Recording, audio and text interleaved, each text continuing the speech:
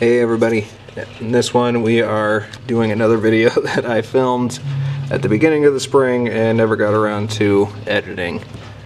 And in this one we're doing some fossil hunting. So the first spot we go to, we are finding these, which are belemnites, which are very cool fossils. You can see the, actually formed a crystal pocket on the inside of this one. I have one that's a literal geode. And they're very, very cool.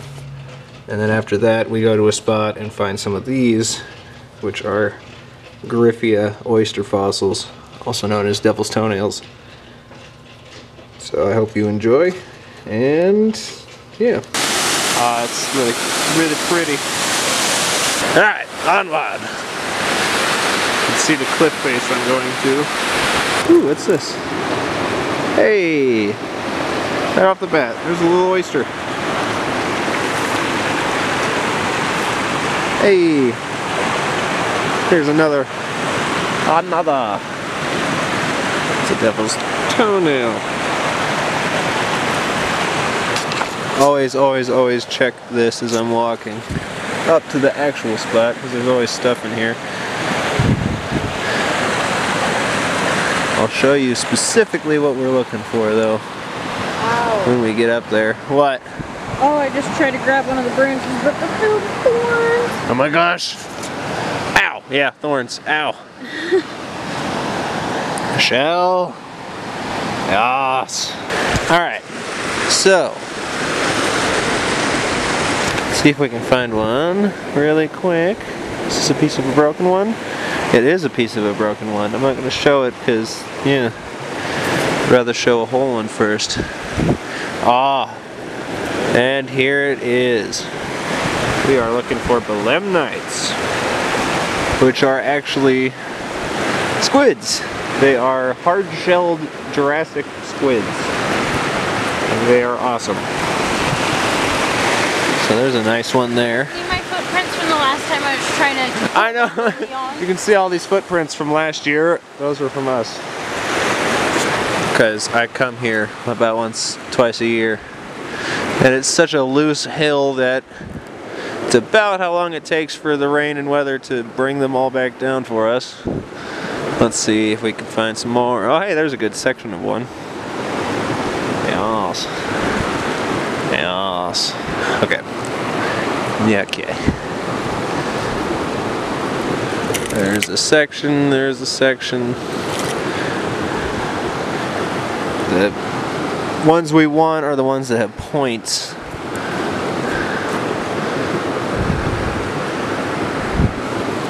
Oh gosh, I'm sliding. There's also really cool scallop fossils in this area. Hey, there's one with a point. What are you? Looks like a piece of shell. You can see the ridges. Yeah, if you look in these, this wall right here,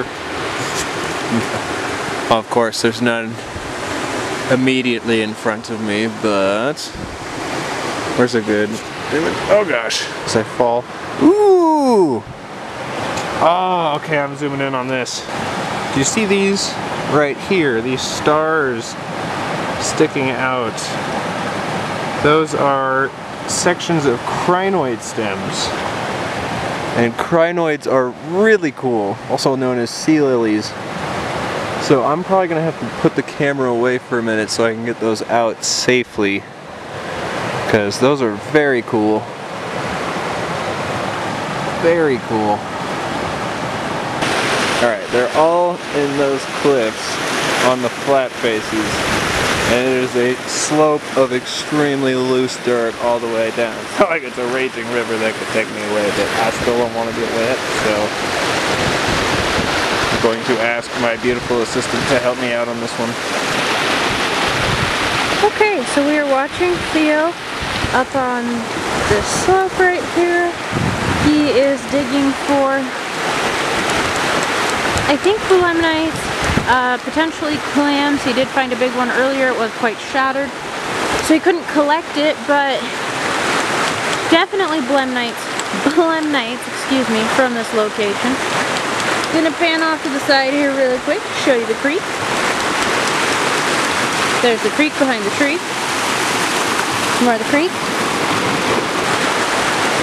And from both of us, I just want to say thank you guys for your support, your subscribes, your likes, your follows. Um, any of you that share it for us uh, through social media. It, it really does help. Um, I know it's a little channel, but it's growing every week. And he is extremely passionate about this, and I'm happy that he gets to share it with other people. He's always wanted to show other people besides just me, um, and this way, he gets to.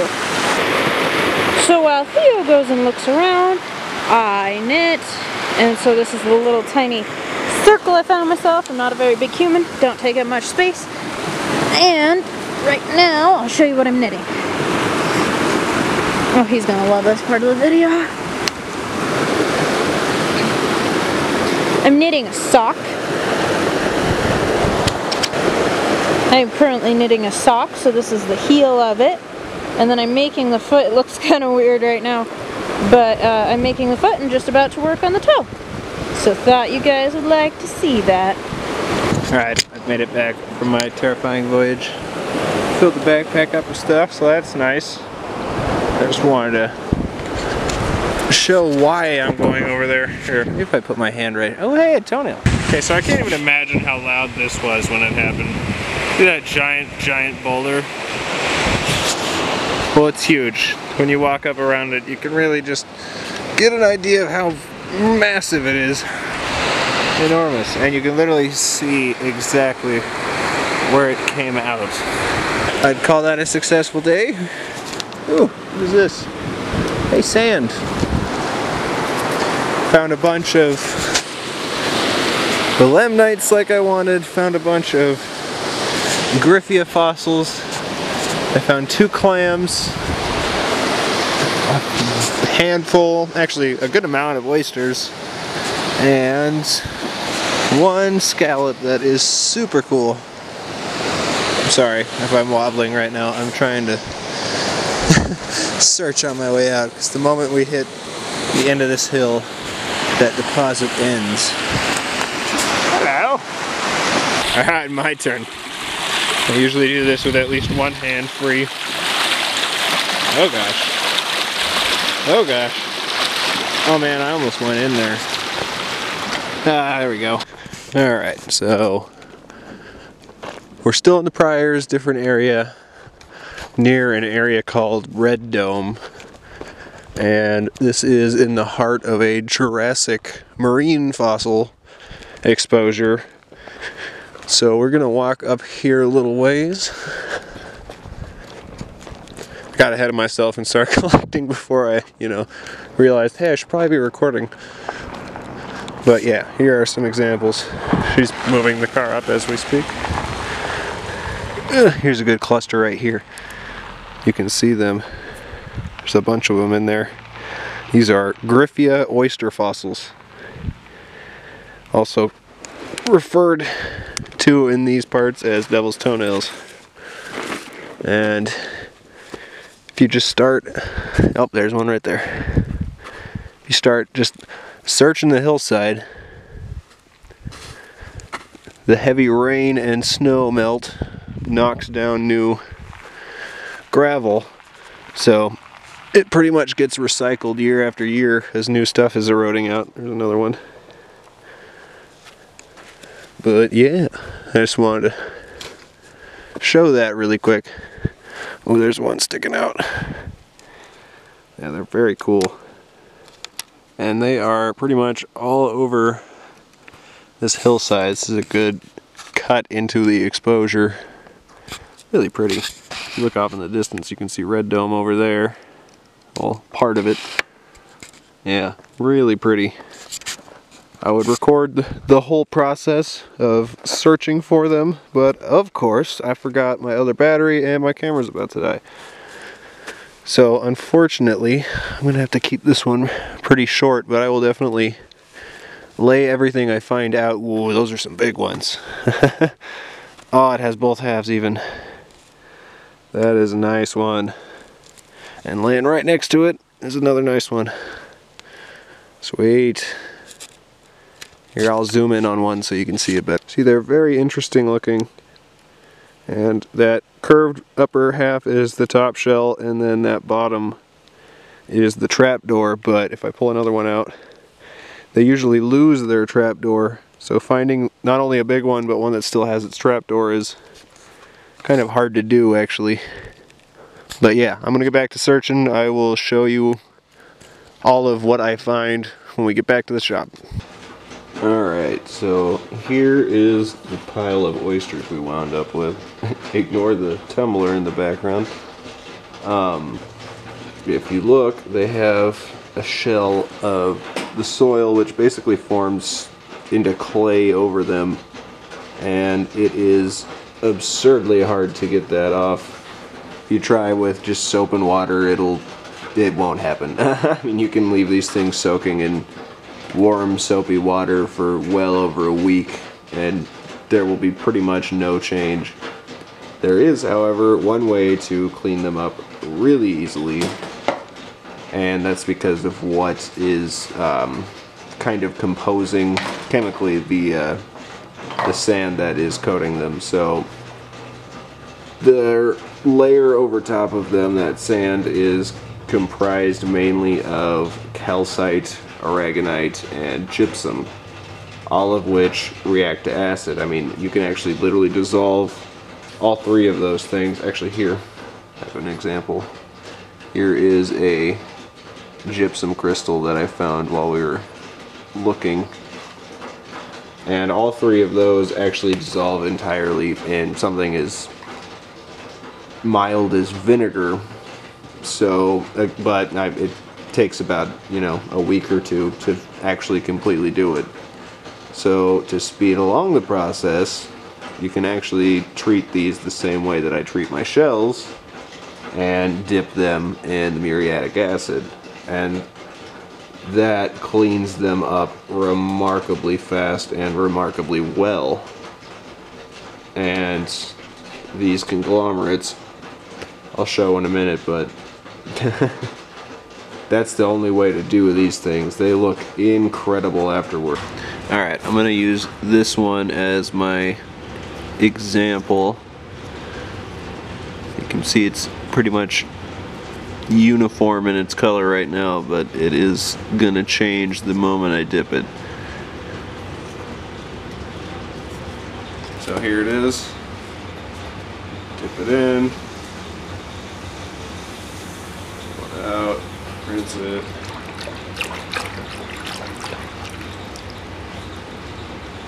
And look at that now. and when I'm dipping shells, I usually go five second intervals, but when I'm dipping these, they need a little longer usually, so I usually go about 10 second intervals. Yeah, again, they just look completely unrecognizable. Alright, and this is a good example of why I love dipping these so much, because you can see, again, I can't get a great shot of it right here, but all of those rays in the shell that natural luster. I did not polish this at all and it is not wet. It is bone dry. So the fact that it returns it to such a naturally high luster is just awesome. and again, you will never get this from soap and water. With these ones you almost have to use the acid which is actually a lot safer with these ones because the, the fossil themselves, um, they agatize, so the agate will not be touched by the acid, but all the stuff on top of the fossil will go and uh, be dissolved by the acid. So, And here's that conglomerate that I used as an example, and as you can see, there's really no comparison. Those fossils stand out like crazy now. they just look so good. Alright, back to it. Alright, so this half was not treated and this half was treated. And the lighting isn't the best, but you can really see the difference. Here, I'll get some close up. Here's one that was not. And here's one that was. You can really see how much shine and texture comes back. All of those little ridges up at the point. They are just. Here's one of the conglomerates before it got dipped.